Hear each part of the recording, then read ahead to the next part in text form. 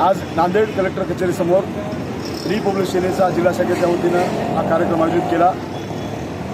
जातीवादी मनुवादी संभाजी भिडे यांना आजपर्यंत अटक केली नाही शासनाने आमचं म्हणणं आहे.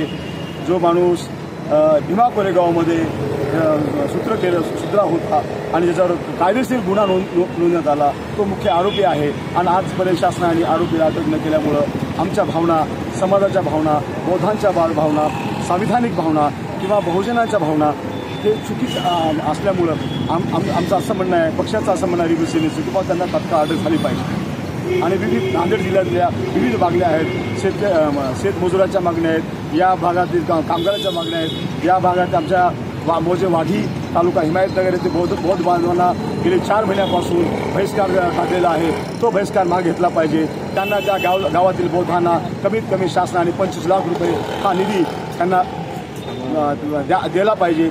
तसेच बोरगाव अस्तरा तालुका हदगाव या गावामध्ये बौद्ध बांधवांना गेल्या जयंतीपासून अर्थात आता चार महिने होत आहेत त्या दोन्ही गावामध्ये बौद्धांना सामूहिक बहिष्कार करण्यात आलेला आहे. म्हणून आम्ही शासनाला वेळोवेळी रिपब्लिक सेनेच्या वतीने निवेदन दिलं. परंतु तुमची काय हा?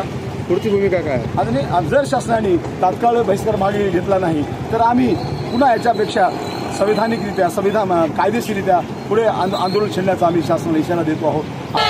जातीवादी संभाजी भिडे अटक